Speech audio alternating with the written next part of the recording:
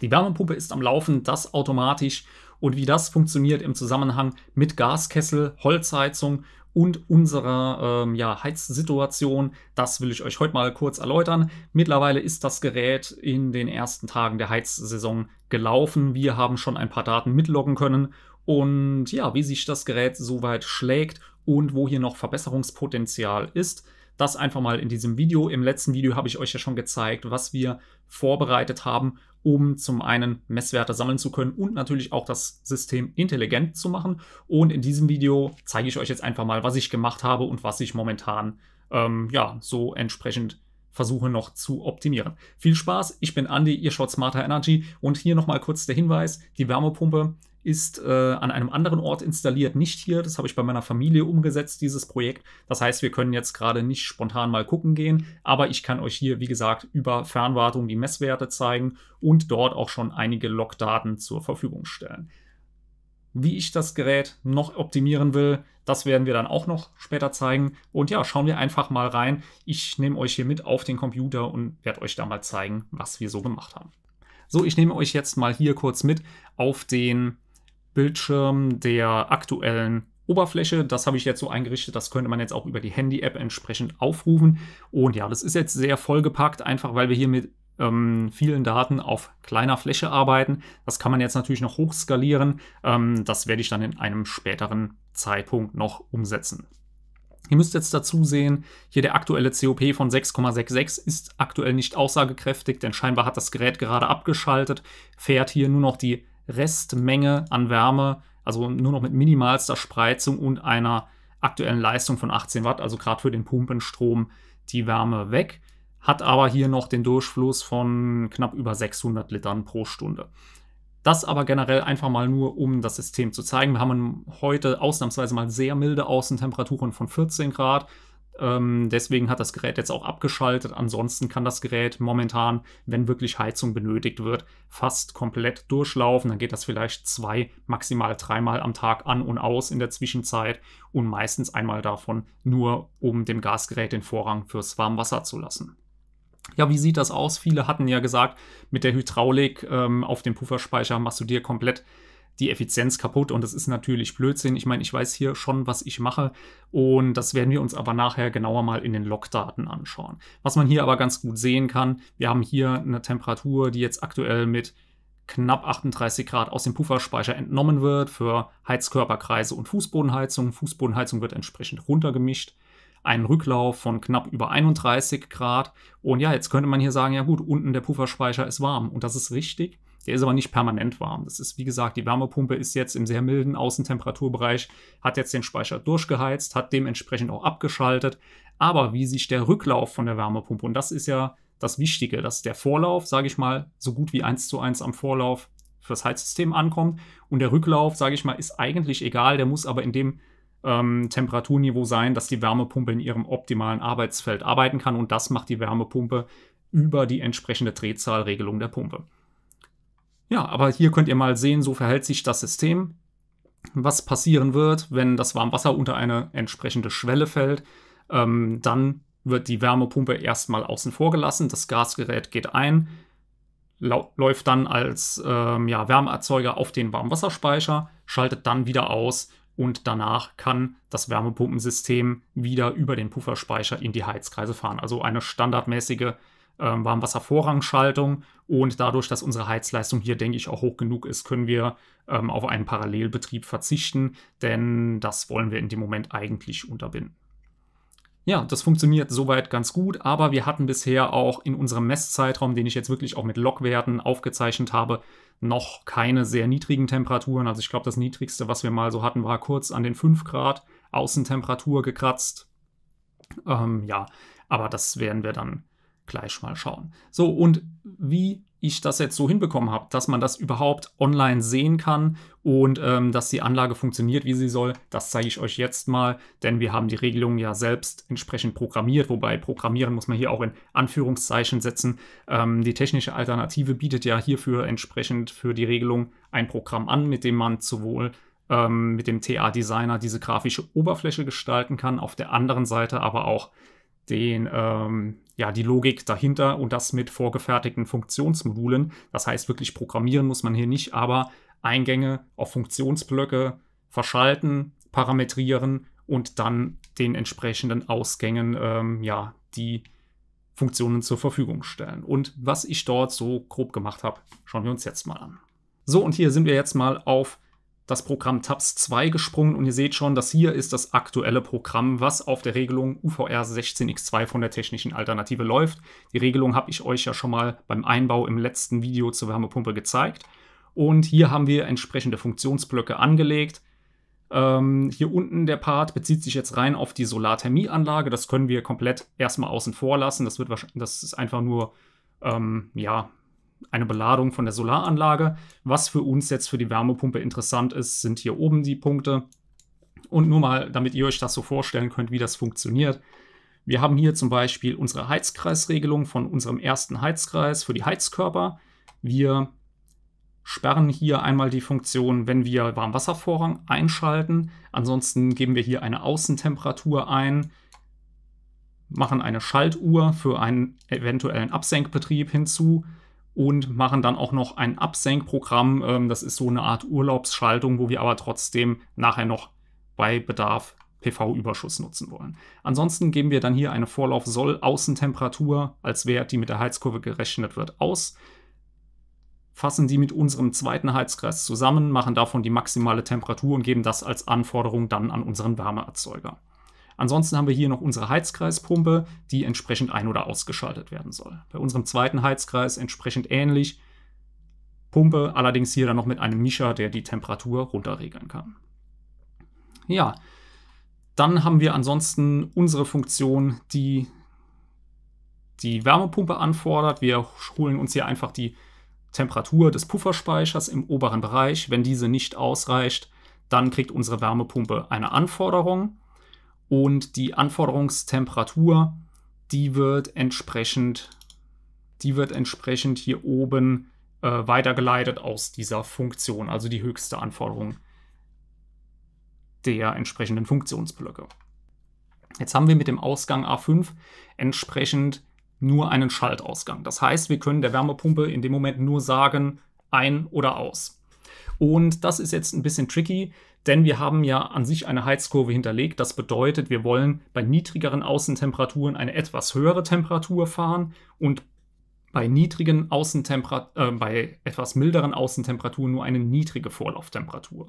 Und ähm, hier muss ich jetzt sagen, man könnte theoretisch jetzt noch hingehen. Es gibt, wenn ich das richtig gesehen habe, auch bei der Remea Tensio, die wir im Einsatz haben, die Möglichkeit dort über Modbus eine Verbindung herzustellen, aber ich muss sagen, das ist mir jetzt zu kompliziert. Ähm, was wir stattdessen machen werden, ist, dass wir an der Remea Tensio eine eigene Heizkurve einstellen werden, denn wir nutzen ja sowieso nur den ähm, Heizbetrieb des Geräts, keine Warmwasserbereitung und lassen den dann einfach auf einer ähnlichen Kurve laufen, wie wir es auch in unserem Heizsystem haben wollen. Das kann ich schon ganz gut aus der Vergangenheit einschätzen, wie hoch wir dort fahren müssen.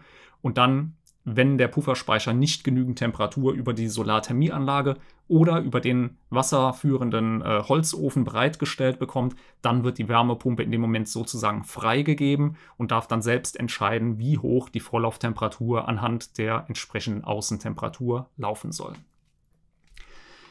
Ansonsten, wenn wir eine Warmwasservorrangschaltung haben, das bedeutet, das Warmwasser fällt unter eine definierte Schaltschwelle, dann wird die Wärmepumpenfunktion in dem Moment erstmal unterbrochen.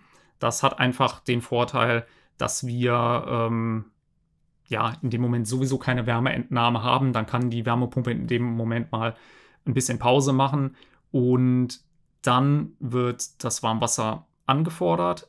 Gaskessel geht ein, das geht in der Regel relativ schnell, ähm, fährt dann mit hoher Vorlauftemperatur auf den Warmwasserspeicher, heizt den auf und ja, wenn das abgeschlossen ist, wird die Wärmepumpe wieder freigegeben. Was ich jetzt für die Zukunft noch implementieren will, ähm, das werden wir aber erstmal beobachten, ähm, wenn die Außentemperaturen sehr kalt sind und wir merken sollten, dass wir mit unserer Heizkurve der Wärmepumpe nicht hinkommen, dann ist die Überlegung, ob wir den Gaskessel ähm, entweder parallel oder als alleinigen Wärmeerzeuger nutzen. Da müssen wir allerdings noch die Frostsicherung für die Wärmepumpe beobachten. Da muss ich jetzt mal schauen, wie sich das verhält, wenn ich die Wärmepumpe mit diesem externen Kontakt abschalten will. Ja, und ansonsten, ähm, ihr seht schon, das ist jetzt, ja, es ist jetzt nicht sonderlich überladen, aber es ist schon ein bisschen komplexer, was dort alles mit reinspielt. Und was hier jetzt noch gar nicht vorhanden ist und was in Zukunft auf jeden Fall noch kommen soll, ist die Anforderung mit PV-Überschuss. Das heißt, wenn wir über die Photovoltaikanlage feststellen, okay, wir würden gerade unnötig Strom ins Netz speisen, müssen aber trotzdem heizen, dann soll die Wärmepumpe eine erhöhte Vorlauftemperatur über das Smart Grid-Signal bekommen und dann entsprechend den Speicher hochfahren, einfach ähm, ja, weil uns in dem Moment der Strom wenig kostet, beziehungsweise halt ansonsten die Einspeisevergütung nur wenig abdeckt. Ja, und damit man auf der Steuerung sehen kann, was an der Regelung so passiert, kann man dann mit dem Programm TA Designer noch diese grafischen Oberflächen mit den entsprechenden ähm, Daten anlegen. Ihr seht schon, hier unten habe ich einiges an äh, Seiten erstellt. Die sind jetzt für das Netzwerkinterface gedacht. Hier kann man aber genauso gut die grafische Übersicht für den Touchscreen der Regelung anlegen. Und ihr könnt hier dann zum Beispiel eure aktuellen Programme reinladen. Ich habe hier jetzt das von unserer 16x2, also der tatsächlichen Regelung, aber auch den ähm, Programmstatus von dem CAN EZ3, also dem Energiemengenzähler, hinzugefügt. Und dadurch, dass wir die alle im CAN-Netzwerk haben, können wir auch auf diese Daten zugreifen und uns dann hier Sachen wie Leistung, COP, ähm, hier habe ich noch einen Stromzähler eingebaut, der entsprechend immer hochzählt. Ja, das haben wir dann alles drin. Und das sieht dann nachher effektiv so aus. So, und jetzt habe ich euch mal noch die Messwerte der letzten Tage hier aufgerufen. Und hier, ja, sehen wir jetzt zum einen Vorrücklauftemperaturen unserer Systeme, äh, dann aber auch unseren aktuellen COP, der hier die ganze Zeit mitgelockt wird, die Außentemperatur. Äh, das heißt, ihr seht hier ganz schön bei 5,3 Grad 4,4, dann wird die Außentemperatur hoch höher und wir steigen hier auch leicht mit dem COP. Na, kann man das hier so sehen? Ja, hier ungefähr, da beginnt es, wird immer wärmer draußen, der COP geht Richtung 5 langsam. Und ja, hier seht ihr ganz schön unsere aktuelle Außentemperatur, mit der wir in den letzten Tagen zu tun hatten. Also irgendwo so zwischen etwas über 10 und etwas unter 10 Grad. Also momentan natürlich sehr gute Bedingungen für die Luftwasserwärmepumpe. Hier nur einmal kurz 5,5 Grad. Und jetzt, ja, die letzten ein, zwei Tage ist es jetzt hier wieder richtig mild geworden. Und dann haben wir entsprechend unsere COPs. Ähm, warum die jetzt teilweise hier nur bei 4 liegen, das liegt daran, dass ich einfach mal mit der Vorlauftemperatur ein bisschen gespielt habe. Also wir waren hier irgendwo im Bereich zwischen 35 und 38 bis 40 Grad Vorlauftemperatur Wärmepumpe unterwegs. Ähm, und dementsprechend, hier seht ihr es schon, Wärmepumpenvorlauf geht hier bis auf 40 Grad hoch. Und deswegen kommen wir hier auch nur auf einen COP trotz fast 10 Grad Außentemperatur von 4, ja, und ein bisschen was. Aber ich denke, schlecht ist das auf jeden Fall schon mal nicht. Und ja, wie sich das jetzt verhält, das möchte ich euch jetzt einmal zeigen. Wir gehen jetzt einfach mal, würde sagen, hier in dem kalten Temperaturbereich, da kann man es, glaube ich, am besten beobachten. Gehen wir jetzt einfach mal rein, zoomen wir rein. Und ihr seht jetzt hier, wir haben mit einem COP zwischen 4 und 4,5 ungefähr zu tun. Das blenden wir jetzt aber mal aus, dass die Skalierung besser passt. Und jetzt war ja die Kritik, ähm, ja, wenn du auf dem Puffer fährst, wie ist das mit der Vorlauftemperatur? Das vermischt sich doch alles.